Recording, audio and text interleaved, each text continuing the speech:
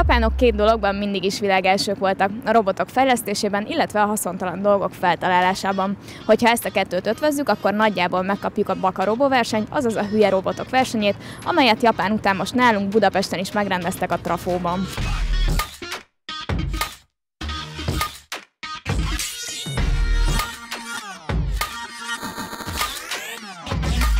Egy pár évvel ezelőtt Tokióban hívtak meg egy színházba egy előadást, és kiderült, hogy hülye robotok vannak a színpadon.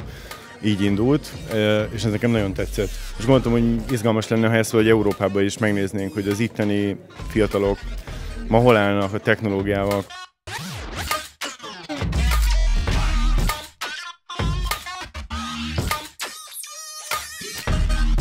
Az alapkövetelmény a Baha robotnál, tehát a hülye robotnál, hogy haszontalan legyen, vicces legyen, és rendelkezzen mechanikával.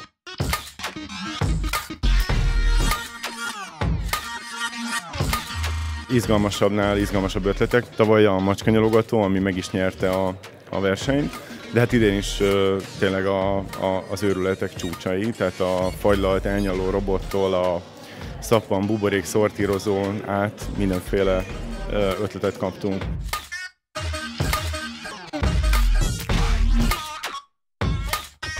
Úgy neveztük el, hogy Fámbot Józsi, egyszerű magyarsággal, és hát valójában ő egy szurkoló robot, neki annyi a dolga, hogy egy tipikus magyar fotball szurkoló mintájára ül otthon a kényelmes kanapéján, nézi a foci meccset, mellett a sör, előtt a pattogatott kukorica, és örül mindennek, amit lát, tehát jól szórakozik, tehát valójában semmi hasznosat nem csinál.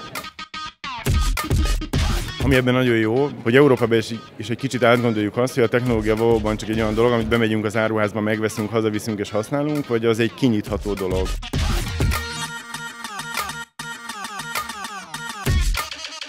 Az embereknek a kreativitása az egy országnak vagy egy kontinensnek lehet a jövője. Úgyhogy mi ilyen nagyon nagy reményekkel kezdtünk ebbe bele. Csak úgy kipattant a fejünkből, volt egy ilyen robotkarunk, és azt mondtuk, hogy kéne kezdeni vele valamit. Utána meghallottuk ezt a versenyt, és gondoltuk, hogy valamit mi is tudnánk belőle kezdeni. Egyszer csak jött, hogy legyen szurkoló robot. Junos TV van, szép kis retro piros, zászlót tudunk csinálni, fölöltöztetjük szépen, csinálunk belőle egy kis emberi figurát, és fölruházzuk egy kis emotionnál. Mindenféleképpen bővülni szeretnénk, és mivel Budapestet most már összekötik ezzel az eseménnyel, ennek nagyon örülünk, hogy Magyarország lehet ennek, Budapest lehet ennek a mondjuk fővárosa Európában.